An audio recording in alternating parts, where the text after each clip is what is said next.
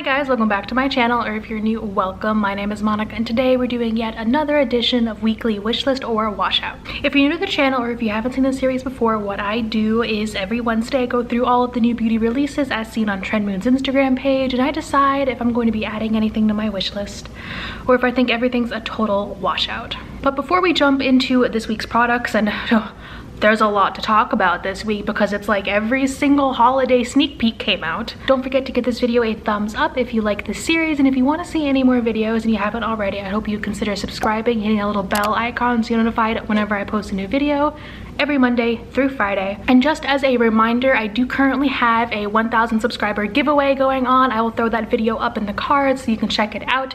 It is still open. It'll be open until this upcoming Monday, September 3rd. So if you haven't already entered and you would like to, please check out that video and enter.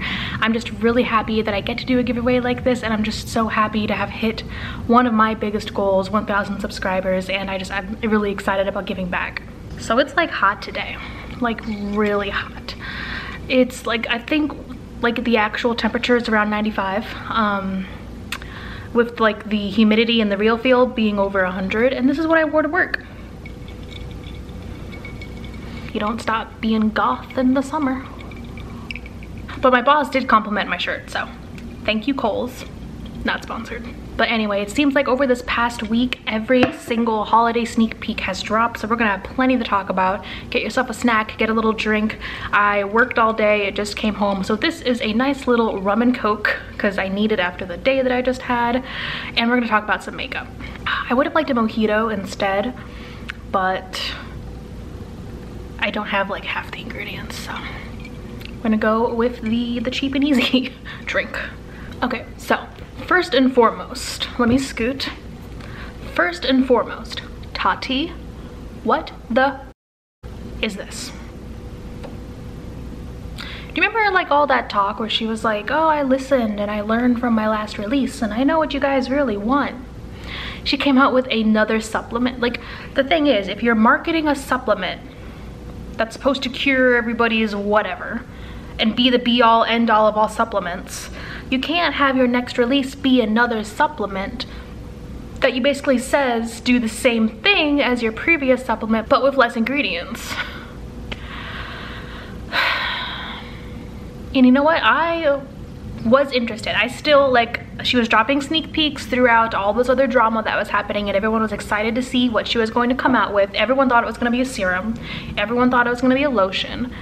And honestly, if it had been a skincare item, I probably would have picked it up or at least really considered it. But really,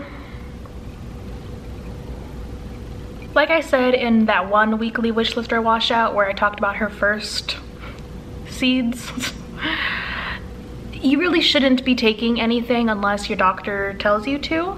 Um, I think a huge part of the whole pharmaceutical industry that's more like vitamins and nutrients and not that vitamins and nutrients aren't good for you, they are, but I really don't think the majority of us need supplements, especially as many supplements are marketed to us. Honestly, the majority of them, if you already have that vitamin or that supplement in you, you're just gonna pee it right out. So in order for you to actually like find if you're deficient and then counteract that, go to a doctor, see a doctor. Don't take pills that are being marketed to you because they're gonna erase fine lines and get rid of wrinkles and you're gonna look just like Tati in her promo photos even though she's wearing a full face of makeup, gets injections, has a thousand dollar skincare routine, but but it's the pills. The pills did it. No, I'm just upset. I don't like it when things like that are marketed to younger people especially. It's on like honestly like this whole time I was holding out hope that she would be better and wouldn't scam people with blood pharmaceutical you know pills placebo pills but I mean, there just comes a point where you just gotta give up and be like, this is probably just her brand. This is all that she's gonna do. Nothing else is going to come of it and just ignore it and move on. I just don't like the, the impact that it's having. I don't like seeing people spend so much money on pills that for the most part are doing absolutely nothing. It's deceitful. Moving on. Jeffree Star just came out with some liquid frosts. Honestly, I'm not a huge fan of like liquid highlighters or anything so I'm not going to be picking up any of these. I know a whole lot of people are really interested in these and I'll probably watch a few review videos just to see them like they look gorgeous but I know I would never reach for them. Juvia's Place is coming out with some loose highlighters and they look gorgeous but I own like one or two loose highlighters right now and I never reach for them. I'm currently panning um, like a pressed highlighter, one of the first highlighters I've ever hit pan on, if not the first. So I'll probably be reaching more for pressed powders. I just, loose highlighters are great if you're looking for a deal and you can work with a loose formula because you're getting a whole lot of product. Like no one ever is probably gonna use up a loose highlighter. So if that's like your only highlighter or you want to like reduce your collection or you're just really liking that one shade i think a loose highlighter is great because it's small it's compact you're gonna have so much product in there but if you're not to reach for it if you already have a whole bunch of pressed highlighters you're probably not going to reach for the loose one because it's not as convenient as the pressed one.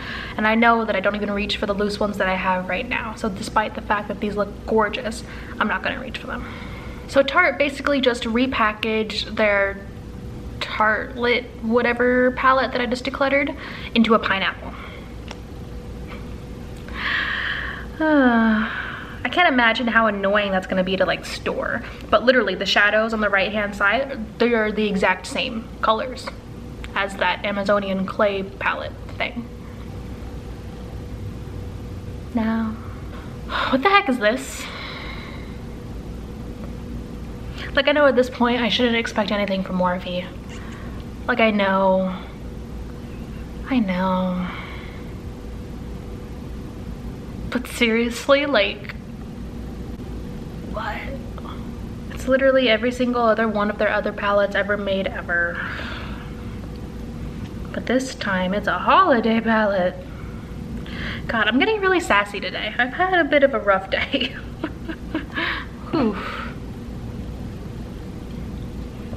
Pinkies up. Okay, so time for, of course, the Too Faced Weird Little Thin Palette release.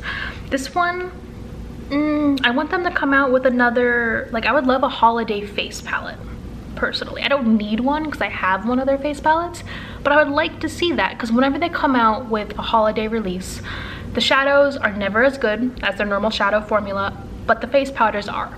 So you always see people who review these holiday palettes, they end up like depotting the face powders out of them and then getting rid of everything else because the shadows for the most part suck.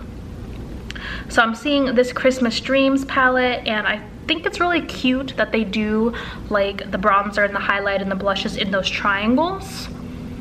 But those shadows are so boring and neutral and they're not gonna be the same formula as their normal formula.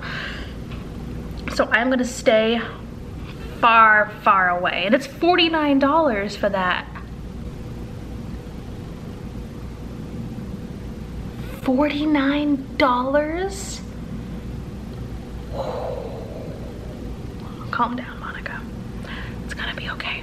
Stila is coming out with a new one of their mini three glitter and glow sets. These are an awesome deal. I love these things. And if I look at the actual shades, I don't know what shades actually come in it yet, but if I don't have those shades, I'd probably pick that one up again because I love that formula and I love the minis. You just, oh, the minis are perfect because you'll never go through a full size Stila glitter and glow. They're huge and they're expensive, but the minis are awesome.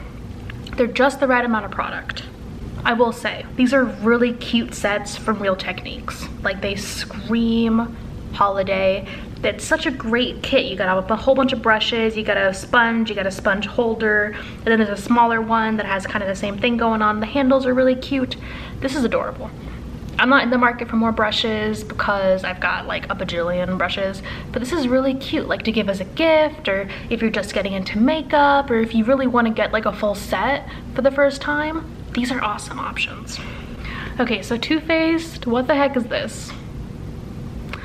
I saw this from far away. From far away, this palette looked cute, right? And then you zoom in, look how much damn glitter is in that sugared peach blush. what the hell? Oh my god, I have no idea. Literally every shade in here has shimmer or glitter. And I was thinking like if that, if there had been like, again, a good face palette with like a matte shade in here, then I would have been interested. But there is like that.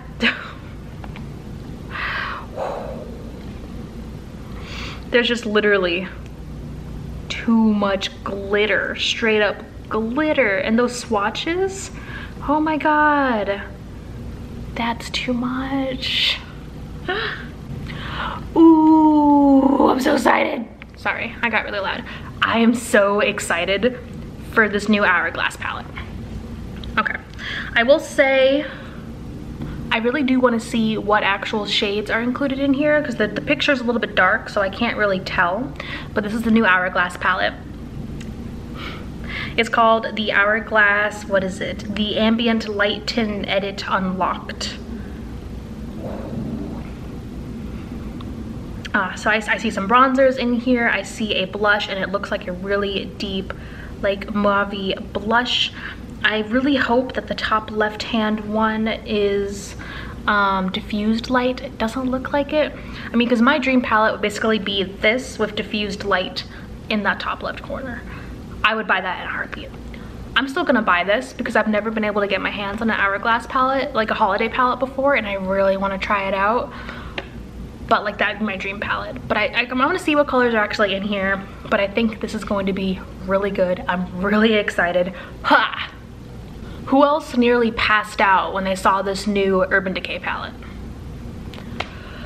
I'm not talking about the cherry one. We'll get into the cherry one. I'm talking about this one. Hot damn, I want this palette. oh my god, they I feel like with this palette, Urban Decay is finally getting back into their groove. I feel like this this recalls like Vice themes. It really brings, oh my god. It looks like it has a huge mirror. It opens up, it's circle. It looks gorgeous. Hot damn. Way to go. I'm, I'm gonna get this. I'm going to be getting this. This comes out September 10th on their website.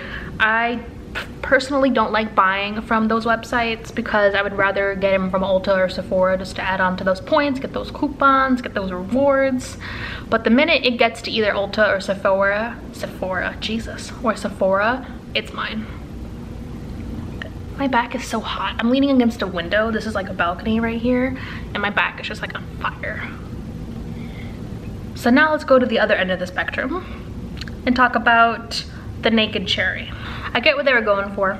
All the sexual innuendos, all the tying in the color scheme, the packaging is cute. It's very reminiscent of the Naked Heat. LS just did an awesome video all about that. So if you haven't seen that, I would really suggest you go check that out. It was such a good video. But I think she was right in saying that this release is old.